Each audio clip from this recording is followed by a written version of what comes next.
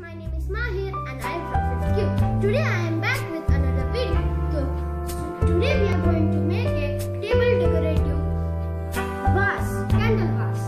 So first the ingredient you need is a, a leaf, a candle, stones, some stones, water and a decorative vase which is look like this. So first you have to do is take some stones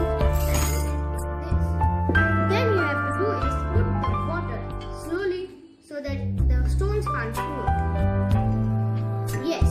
Then you have to do is take the leaves, artificial leaves you can take or any real leaf.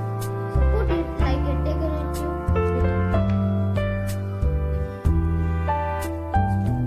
So next you have to do is take the